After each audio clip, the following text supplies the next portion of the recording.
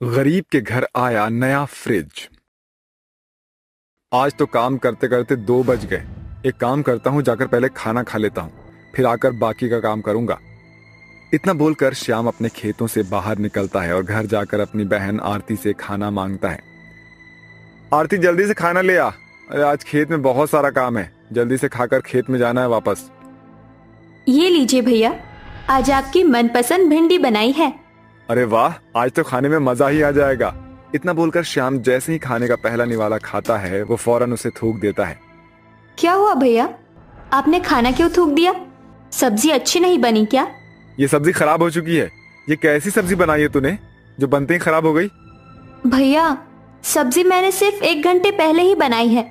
ये खराब कैसे हो सकती है? यकीन नहीं हो रहा तो खुद ही खाकर देख ले। शाम तक मैं खेतों में काम करता हूँ मेहनत मजदूरी करता हूँ। इन सब के बावजूद भी मुझे ढंग का खाना भी नसीब नहीं होता है। तो भैया इसमें मेरी क्या गलती है? मैं तो आप लोगों से कब से कह रही हूँ कि फ्रिज ले आओ लेकिन आप लोग हो कि हमेशा मना कर देते हो। इस भयंकर गर्मी में कुछ भी बनाओ तो थोड़ी देर में ही खराब हो जाता है। क्या हुआ? तुम दोनों चिल्ला क्यों रहे हो? माँ मैंने आपसे कितनी बार कहा था ना कि फ्रिज ले आओ। देखो आज फिर सब्ज़ी खराब हो गई। अब मैं भैया को क्या दू खाने में? तू कहीं बावली तो नहीं हो गई है। यहाँ हमें खाने के लाले पड़ रहे हैं। और तुझे फ्रिज चाहिए? तू जानती भी है फ्रिज कितना महँगा है।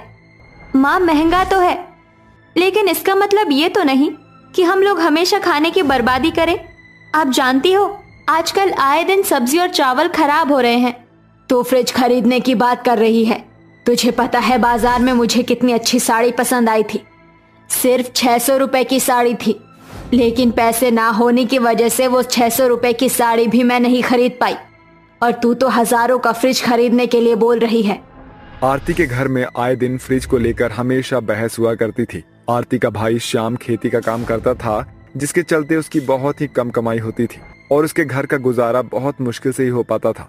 गर्मी की वजह से आए दिन घर में बनाई हुई सारी खाने पीने की चीज़ें खराब हो जाती थी जिससे पूरे परिवार का काफ़ी नुकसान होता था। लेकिन पैसे ना होने की वजह से कोई भी फ्रिज नहीं ले पा रहा था। ऐसे ही समय गुजरता है और और शाम की पायल नाम की लड़की से शादी हो जाती है, और शादी के अगले ही दिन।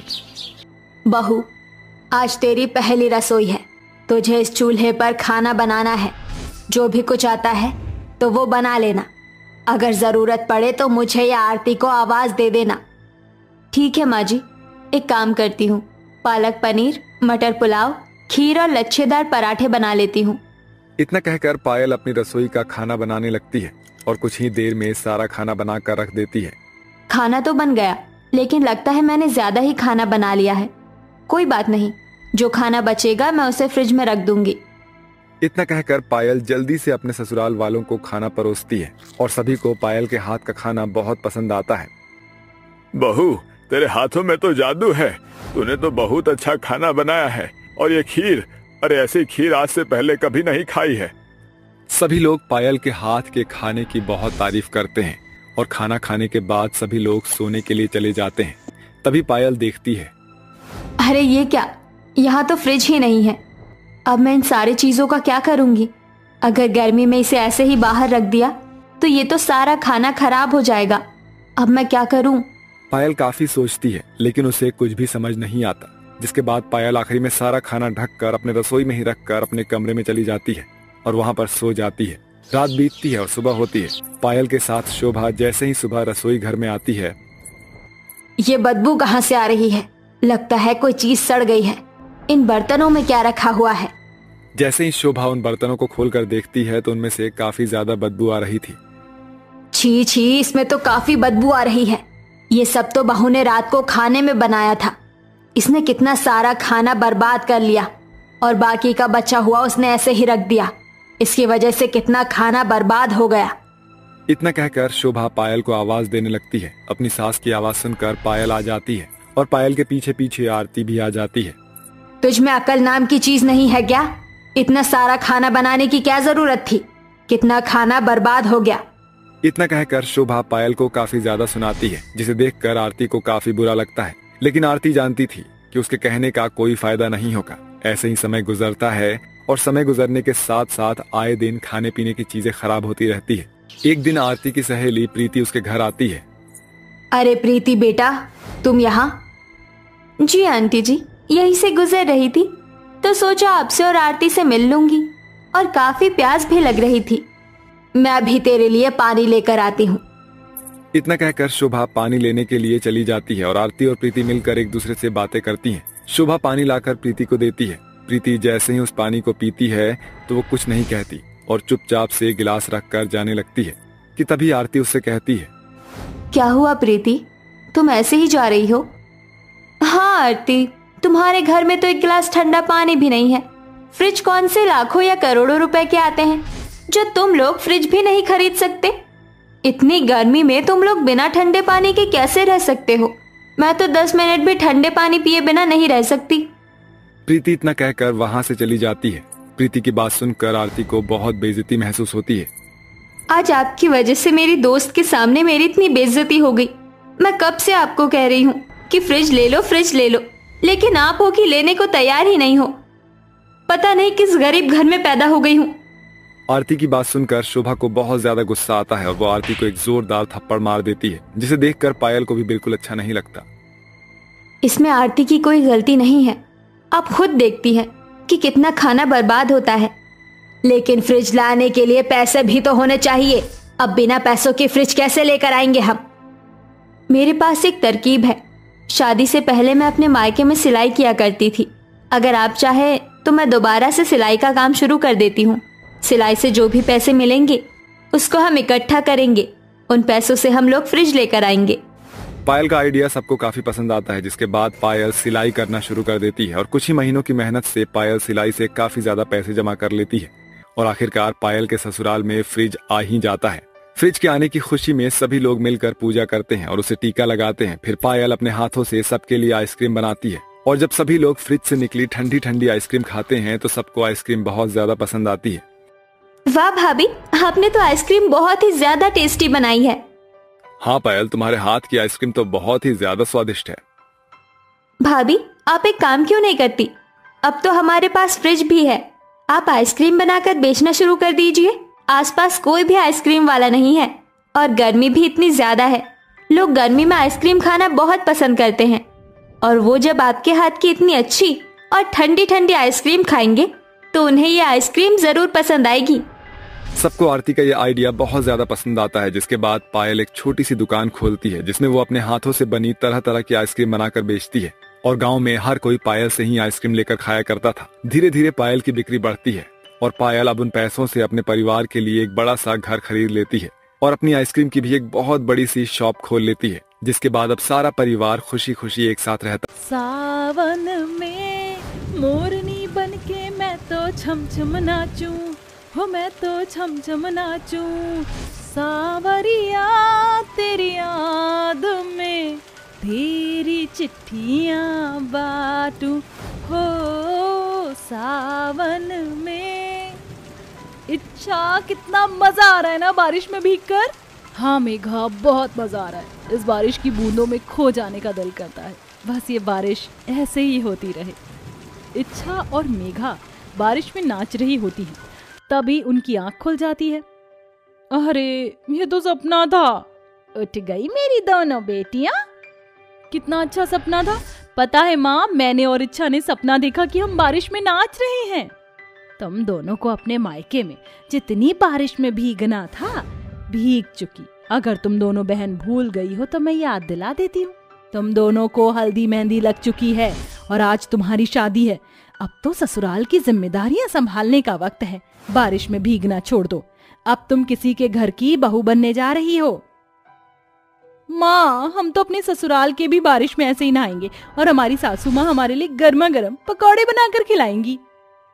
क्या मेघा और इच्छा की ससुराल में पहली बारिश में भीगने का ये सपना पूरा हो पाएगा या फिर अधूरा ही रह जाएगा? इसके बाद दोनों शादी करके ससुराल आ जाती हैं। जहाँ सुमित्रा दरवाजे पर खड़ी अपनी पाँचों बहू के सामने पाँच कलश रख देती है, जिसमें से तीन कलश तो चांदी के होते हैं और दो पीतल के, पुराने। आहाना चांदनी, नताशा बहू, अपने सुंदर गोरे पैरों से इस कलश को गिराकर गृह प्रवेश करो। तुम दोनों के पैर जम गए हैं क्या? जल्दी से गृह प्रवेश करो। काली कलूटी। जी माँ जी फिर जैसे ही मेघा और इच्छा पैर छूने को आगे बढ़ती हैं, सुमित्रा अपने पैर पीछे कर लेती है। ये अच्छी बहू बनने का ढकोसला मेरे सामने मत करना तुम दोनों। वैसे भी मेरी पसंद से सिर्फ़ चांदनी आहाना और नताशा बहू आई हैं। इसके बाद पाँचों बहू अपने कमरे में चली जाती है जहाँ इच्छा यश से कहती है। यश जी क्या माँ जी हमारी शादी से खुश नहीं? अचानक से ये सवाल क्यों? माँ ने कुछ कहा क्या इच्छा? दरअसल माँ नहीं चाहती कि मेरी और अर्पिता की शादी तुम दोनों से हो, क्योंकि माँ को गोरी सुंदर बहुएँ चाहिए थी, बस इसलिए। मगर मैं जानता हूँ, इच्छा तुमसे अच्छा जीवन साथी मुझे कहीं नहीं मिल सकता, और तुम माँ का दिल भी जीत लोगी। यश का अपने ऊपर इतना विश्वास देखकर इच्छा की आँखों में आँसू आ जाते हैं। अगले दिन इच्छा और मेघा सुबह सुबह ही सारा काम करके सभी के लिए नाश्ता बनाती हैं। तो वहीं सुमित्रा की तीनों गोरी बहुएँ देर से रेडी होकर कमरे से बाहर आती हैं और नाश्ते के टेबल पर बैठ जाती हैं। Good morning mummy ji. Good morning मेरी प्यारी बहुरानियों। अरे कहा हो मेरी काली कलूटी बहुओं? जल्दी से नाश्ता लेकर आओ। इच्छा और मेघा सभी का नाश्ता लगाती हैं। ऐसे ही दिन बीतता है।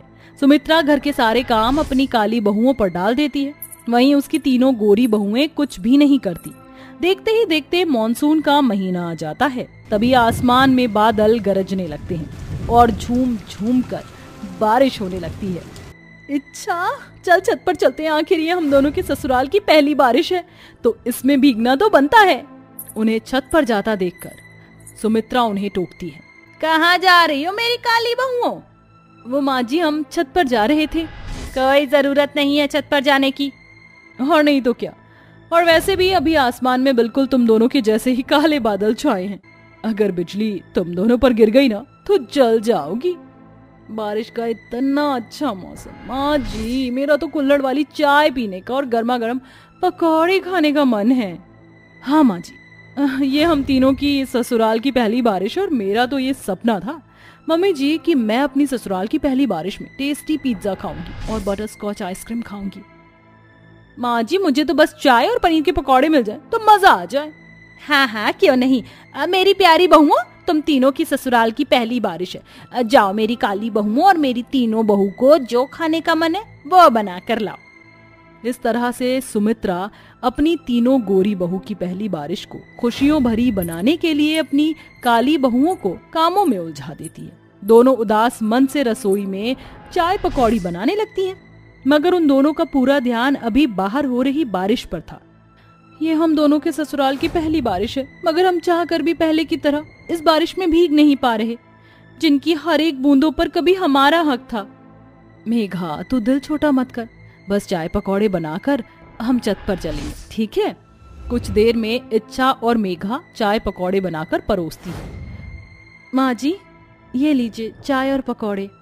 क्या बात है टामरिंडा तुम्हारी सर्विस तो बड़ी फास्ट है। माँ जी क्या अब मैं और मेघा थोड़ी देर के लिए बारिश में चले जाएँ? ये सुनकर चांदनी चिढ़कर कहती है हाँ हम्म अरे कैसे पकौड़े बनाए हैं? एक पैसे का स्वाद नहीं है इसमें।